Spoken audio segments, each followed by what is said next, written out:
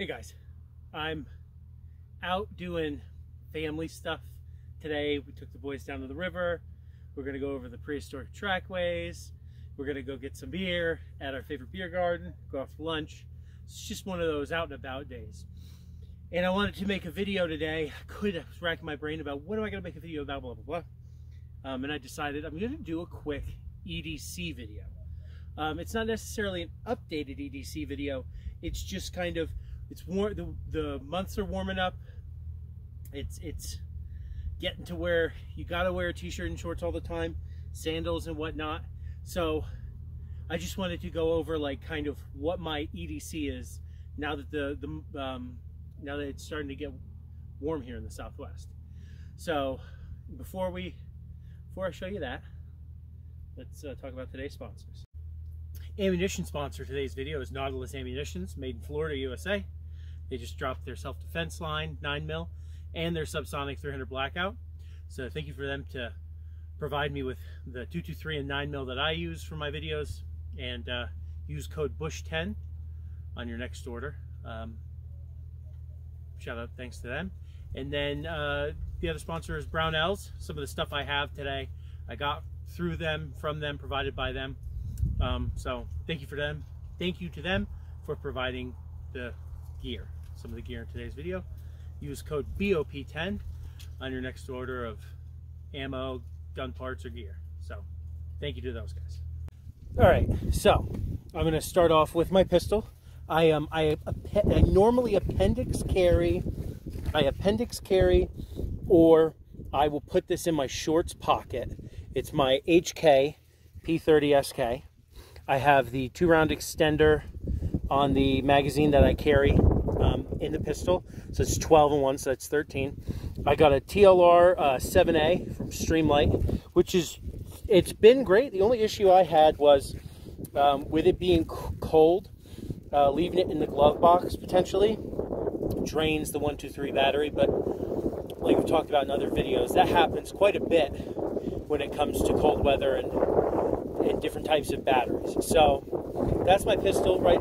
So 13 and 1 and I, I generally carry this appendix in my waistband or in my pocket. And so, you know, I don't I don't have a holster for it. I don't carry it in a holster. You might be like, well, you know, generally speaking, most guys have a holster for retention on their pistol. But I personally don't carry carry in a holster because I like to constantly be moving around. Uh, um, appendix inside the waistband, small of the back, um, waistband in my pocket, under my thigh, potentially in Sarah's purse, depending on where we are. Um, so I just like being able to do that. Um, I thought about getting a holster for it. I probably will sometime in the near future. Um, but I'm never really an inside the waistband kind of holster guy. I've always liked either tucking, just tucking them, or carrying it on an outside the waistband holster. That's just my comfort preference, right? So that's what I carry. That's the pistol I carry.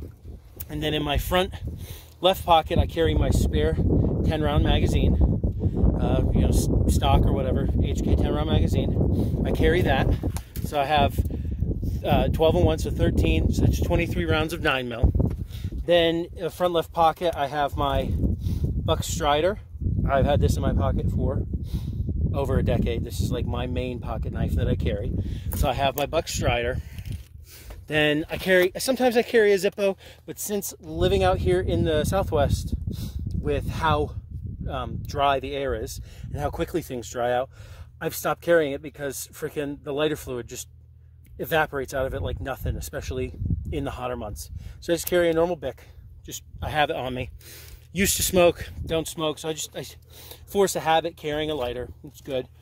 Then I've been carrying this. This is one of the TMTs, the Tactical Mechanical Tourniquet. This comes in the U.S. Army. Um, this comes in the U.S. Army IFAKs. They are smaller than the Cat 7. Same prince, same principle. I just carry it. You know, I, I used to carry a, a, a, Cat 7 quite a bit, but I carry this now because it fits in my back. It's smaller it fits in my back pocket more compactly. Um, and it, it's basically it's the same thing as a cat tourniquet. It's just different manufacturer. And Sarah had a bunch of them, so um, she has one in her purse. I carry this in my back, my back left pocket, because then in my back right pocket, I have my wallet. Put that down. I have my wallet from Head On Tactical. The only thing I own that's in multicam black with the cool Velcro front panel where you can put whatever patch on um, you want on it. So I have my wallet, and then in my front right pocket, I normally have my phone, um, left wrist watch, right wrist, right wrist, right wrist, uh, memorial band, um, paracord bracelet, and a Montagnard bracelet. As it's like a second memorial band, Vietnam. Um, so I have those, and then that's it my pockets. Now, one of the cool things I have been, I've been carrying it. I was carrying it in my full-size pants, like my BDU pants, and I'm, I've been carrying it um, in my back pocket, sometimes with my, sometimes with my wallet, and then sometimes with the tourniquet, just depending on um, what I'm doing. If I'm walking around, I'll put it with the tourniquet. But this is made by the guy over at Otterpaw Trading Company.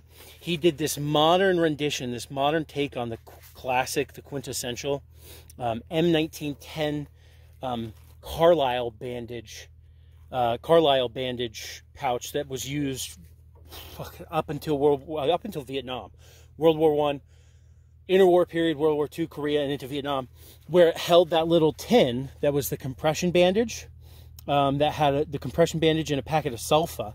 And so he took a modern take on it and just made these little pouches. He was he's selling them with a little survival kit. But personally, I just ordered the plain pouch because I wanted to use it as like a little first aid kit. So I have a 1110 uh, trauma bandage, like a, like the Carlisle bandage, the original, what they were supposed to, you know, what the pouch was used for. And then I have um, behind that, because they're pretty flat, a um, Focus uh, non-woven bandage, like a Z-fold bandage. So I just have those in there. So, you know, you've got tourniquet and this. And like I said, I've it depends on what I'm doing. If I'm sitting down a lot, I might not have it in my pocket. I might take it out and put it in my pocket when I get out of the car.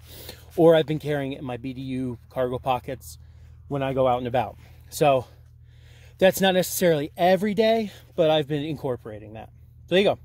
So yeah, pretty basic, simple, kind of kind of the same stuff I had on that EDC video I made a while ago. Um, not a lot has changed other than using um, a different tourniquet and potentially potentially getting a freaking um, holster for my HK. So there you go. Hope you guys just enjoyed a quick short video, informative, kind of showing you I can carry all of this in my shorts and in my waistband um, without freaking, you know, having any of it really exposed. So, all right, you guys have a great day.